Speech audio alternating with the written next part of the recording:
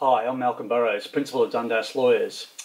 Dundas Lawyers is a firm that I've established and is an award-winning corporate technology and intellectual property law firm that also passionately litigate, litigates in these areas of practice. In this video, I'll explain trade secrets and explain the three characteristics uh, of trade secrets and provide some examples of what are and what are not trade secrets.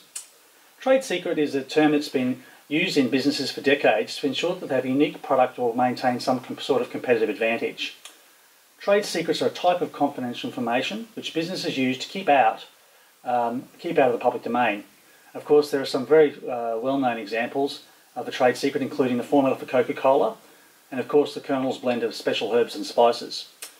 Although not explicitly defined at law, the Federal Court, in the case of Searle Australia and the Public Interest Advocacy Centre, expressed trade secrets typically have three broad characteristics.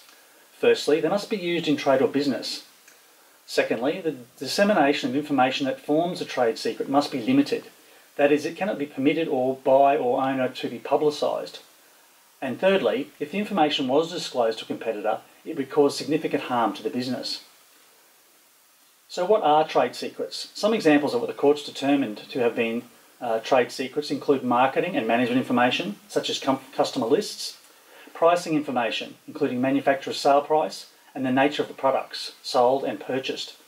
And of course, the classic example of trade secrets being the formula for manufactured goods, like Coca-Cola and the Colonel's blend of secret herbs, special herbs and spices.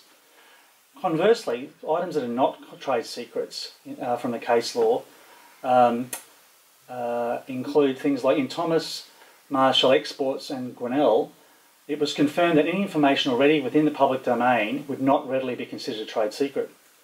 In one of my favourite cases, Faccenda Chicken and Fowler, it was confirmed that general skill and knowledge that a person necessarily acquires as part of their work is not a trade secret. And in Secton Proprietary Limited and Delawood Proprietary Limited, it was confirmed that simple goals, purposes or possibilities can't be trade secrets either whereas the novel achievement of them may constitute a trade secret. So what can be done to ensure that something becomes a trade secret? Firstly, ensure that your employment agreements and supplier contracts and license agreements have a confidential information clause which survives termination and creates an obligation of non-disclosure. Secondly, ensure that a non-disclosure deed with any potential business partners you trade secrets with is adequately signed and documented. And finally, for the avoidance of any doubt, make sure you mark any correspondence about trade secrets as being confidential. You need to remove doubt that anything is confidential.